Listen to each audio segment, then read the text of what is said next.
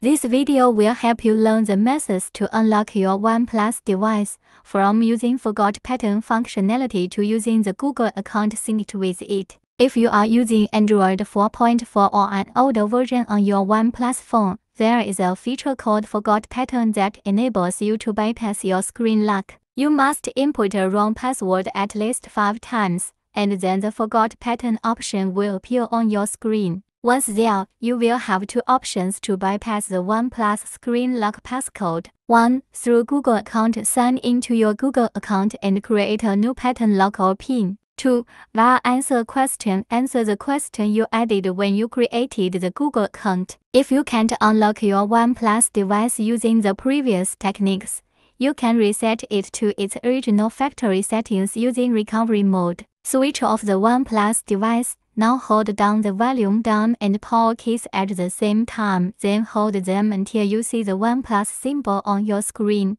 Now, release the two buttons. Tap OK when the device warns you about losing everything pictures, music, etc. Tap OK to continue. It will start to wipe your data.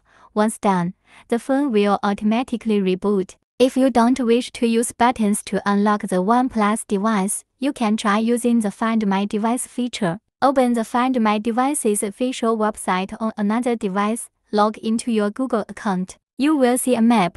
Locate your device on it, select the Erase Device tab. Confirm the choice you made and wait until the process completes. Once completed, set up the device like it was new and set up a new password. The last fix to bypass your OnePlus lock passcode is via factory reset. This technique will erase all your data from the phone, so it is vital to back up your device before you begin.